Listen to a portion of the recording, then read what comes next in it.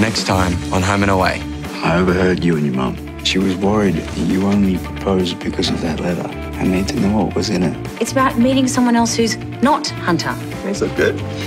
No, naughty. I haven't noticed any rent come into my account yet. What if I grab the cash and drop it around to you later? The cops are coming. You know what'll happen if you get busted with me. Until Ava's kidnappers are behind bars, there's no way I can get custody. I need you to tell me everything you know about Hazel Easton. Wait, you're not planning on facing them yourself, are you?